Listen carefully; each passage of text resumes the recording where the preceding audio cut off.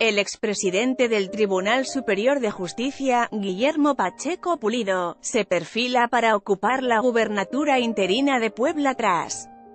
el deceso de la gobernadora Marta Erika Alonso el pasado 24 de diciembre de 2018, a cinco días de que venza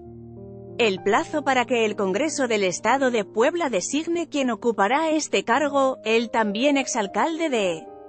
Puebla capital de 1987 a 1990 tendría ya el apoyo de las bancadas de Morena, PRI y diputados de Movimiento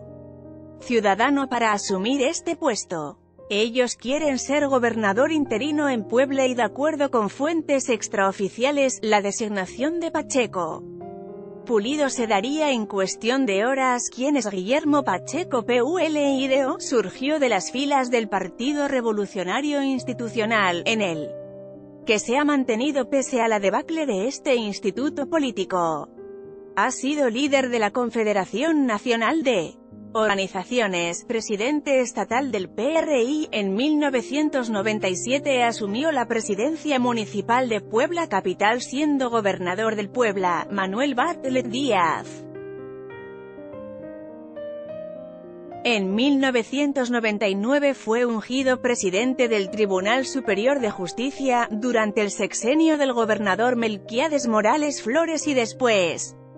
fue ratificado en el cargo con Mario Marín Torres, exclusiva, Cuauhtémoc Blanco no descarta, jugar, por la presidencia Pacheco Pulido ha sido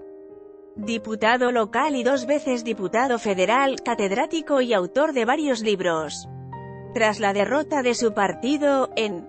julio de 2018 el expresidente del tribunal concedió una entrevista a El Sol de Puebla en la que habló justo